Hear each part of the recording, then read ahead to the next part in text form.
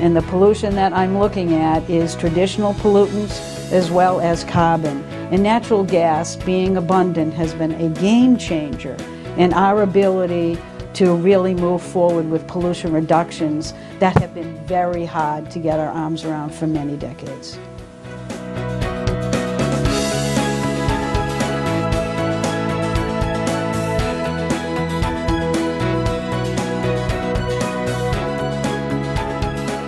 U.S. Uh, emissions of uh, CO2, carbon dioxide, which is a big uh, greenhouse gas that causes uh, global climate change, are down 12% relative to their peak five years ago in 2007. This was completely unanticipated.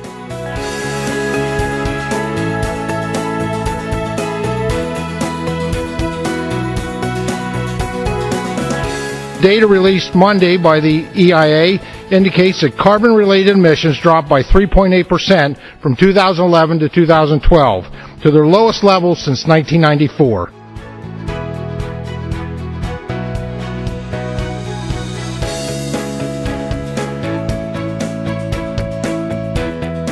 You know, we've been improving our emissions in this country without agreeing to the Kyoto Accords, without congressional action, because of innovation in the natural gas area and, and that moves us down the carbon density scale. Not as fast as some would like, but it's moving us down the carbon density scale.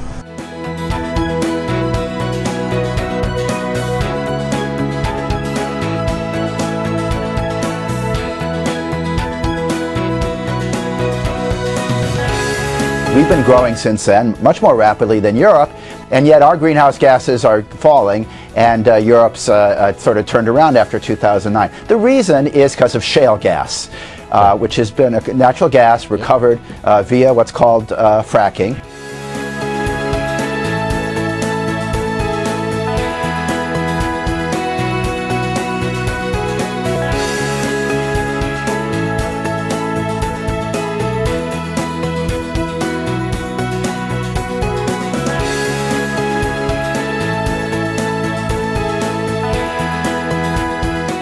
Let me say this we should strengthen our position as the top natural gas producer because, in the medium term at least, it not only can provide safe, cheap power, but it, can also help reduce our carbon emissions.